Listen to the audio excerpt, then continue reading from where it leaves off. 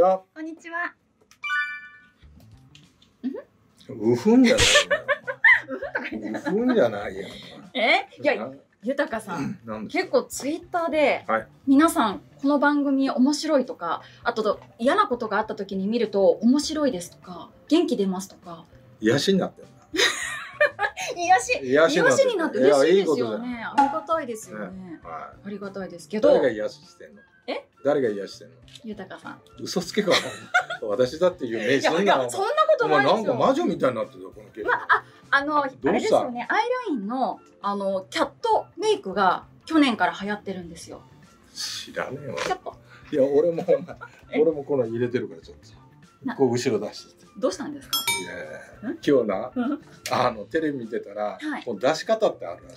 ありますよありますよ。で、うん。ここの真ん中のうん。2センチ横をうん。押さえて出すんだ、ああ出し方ですよね。はいはいはい。そしたらいいんだ。よ今日テレビで見て。早速で早速やってみた。あーそしたらお前会った瞬間にボロカス言われた。言わない言わない言って言っていないですよ。あそうだ。ボロカスではないですけど、うん。今年の沢村賞該当者なしで結構ざわついてるのしてま強引に強引に持ってきたら、いやちょっとどうやって持っていこうかはい、なとサ思って、マラ賞なし。そう該当者10えっ、とこれ19年ぶかな、りですよね。うん。これ、まあちなみに、はい。サイ・ヤング賞っつってはい。メジャーにあるんだけど、あありますね。それは該当者なしっていうのが一回もなかったらしいんだよね。これまで、ね、これまでに。あそうなんだ。やっぱその年に頑張った人を評してあげるというさ、はい。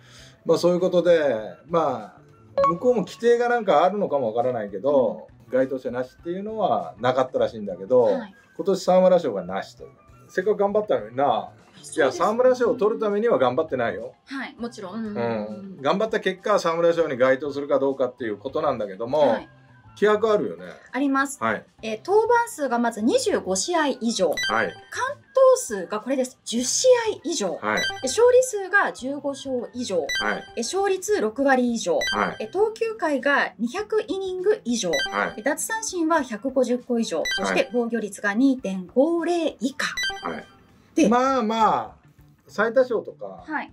そういう人たちうはん。大体クリアするだろうなっていうふうな、まあ数字にはなってるけど、はい。これ時代背景があってさ、はい。この10巻とはいこれはやっぱ厳しくなったな、そうですよね。やっぱ分業制になってるし、はい。い、かにそのピッチャーを長持ちさせるか1年間それ考えた時に完投ということが果たしていいものなのか。はい。って考えるとやっぱもうちゃんと後ろにいい選手が揃ってるわけ,、はい。わけじゃない投手がね。うんそしたらそれに任した方がチームとしての勝率をも上がるということを考えるとねはい10完投って結構厳しい数字だよね。そう今の時代からすると本当そうですよね。うん。でそもそもその沢村賞がその先発完投型のピッチャーに与えられるっていうのが出てきたじゃないですか、うん。もうそれもうやっぱ時代によって変えてね豊さんおっしゃる通り変えていかなきゃいけない。やっぱ変えていかなきゃいけないし、うん。まあもっと言えば、はい。セ・リーグとパ・リーグで変えた方がいいよね。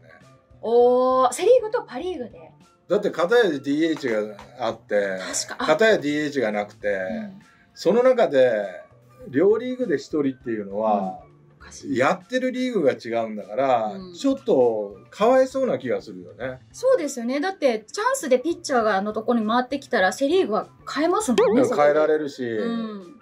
でパ・リーグのおピッチャーっていうのは、はい。DH がある分だけあのやっぱ負担はかかってくるそうですよね。やっぱ失点率が上がるというか、うん。うんうんうんうん。セ・リーグよりは。はい。だからそもそも比べるっていう方がどうなのかなっていうもう時代になってるよね。ですよね。昔はなんかこう両方とも、はい。お同じようなうん。ルールで、まあ、やってたし、はい。まあ、それはそれでいいんだけど、うん。だけど最近はやっぱこうルール改正だとか、やっぱ科学的な根拠も入ってきてるわけじゃない？そうですまあ、そうなってくるとやっぱあの賞っていうのも、うん。それに準じてはい。考えてあげないとね、そうですなかなかこう取れる人っていうのはうん。少なくなってくるよね。なんですよね。で選考委員長のコメントが出ていて、その沢村賞の質を下げたくないっていう コメントをしてたんですけどこれは、うん。これはどうですか？まあ質って何なのっていう感じだよね。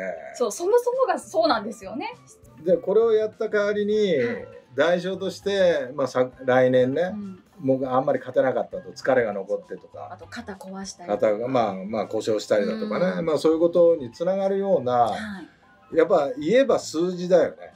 ですよね、うん。うん、これクリアしたったら相当スーパースターだよ。そうですだからその質を下げたくないんだろうけども、うんうん。今後じゃあ自分たちが監督やった時に、はい。それだけのその沢村賞があるからって背中を押せるかっていうとさ押せないよ。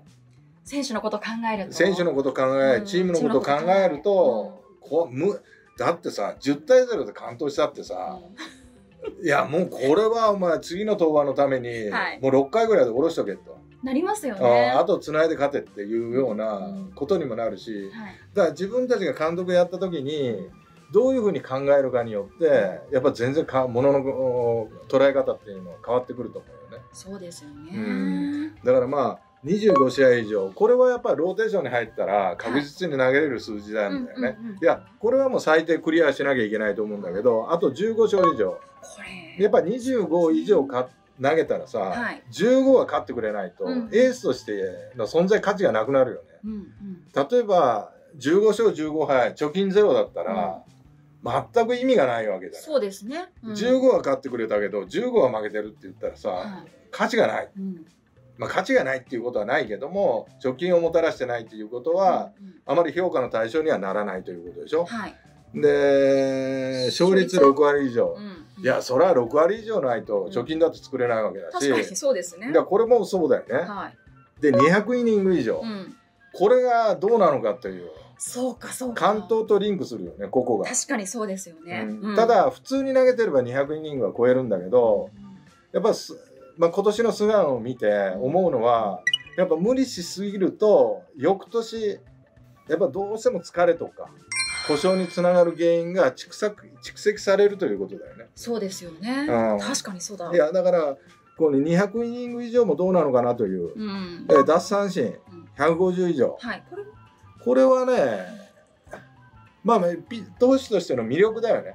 三振を取れるピッチャーってやっぱ打たせてその、うん取るよりもやっぱり三振で取るっていうのがやっぱピッチャー一番安全性が高いからね。まあそのぐらい力があってほしいということでしょ沢村賞に対して。うんうんうん。だからこれも少しわがままな考え方かなとは思うけど、はい。でもこうこうやっぱ魅力とすればさ。はい、やっぱ三振取れるピッチャーって魅力はあるよね。うん。だからこれもまあいいでしょう。はい。ね。防御率2.50、どうですか？うん、まあ2.50以下、うん。2.60だったらどうなの？っていう感じだああそっか。けどいや2点台だったら俺いいと思うよ今の時代。ピッチャーって、はい。やっぱね1点台のピッチャー1点台で防御あの防御率っていうのは争ってたわけよ。はい。だからその名残なんだよね。今ねもう蛇行到底だからはい。なかなかやっぱ2点台でまあうん2点台で取るよね。山本が今年オリックスでうんうん。1点点台。1.95かな。はい。なんかで取ったけどこれ素晴らしい数字だよね。ですよね、うん。はい。だけどまあ普通にエースとして投げてたら2.50ぐらいいくかなっていうのは思うけど、まああのータイトル争いもするだろうし、うんはい。でも10完投はね俺は考えた方がいいと思うよ。いやそうですね。これからどんどんそうなっていきますからね時代的に。うん。うん。で科学的な根拠がある。お。